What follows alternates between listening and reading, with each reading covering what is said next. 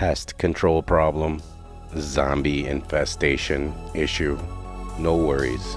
This is the Great Lakes Firearms Zombie Splatter 223 Wylde AR pistol with the 4150 nitride finish, 7.5 inch heavy barrel, 1 8 inch twist.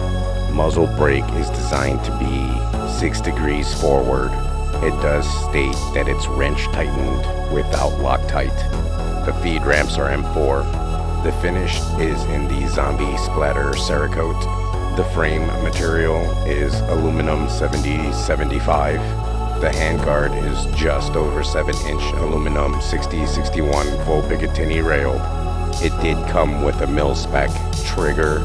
Also included was a 30 round Amend 2 magazine. It claims that its weight is 5 pounds. The overall length is 23 and a half inches we did add a Presma stabilizing brace with an end cap. We switched out the pistol grip with a zombie green, added a TruGlo blue, red, green dot sight, as well as a green dot laser.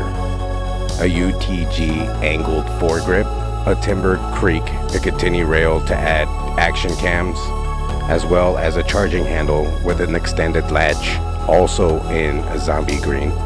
This is basically set up for a little movie project we're going to be working on at some point next year.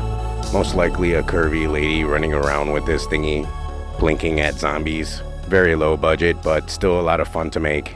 And of course, I cannot wait to take it to the range and plink it. So that's it for me on this one.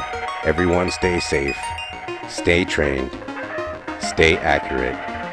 Ciao, friends.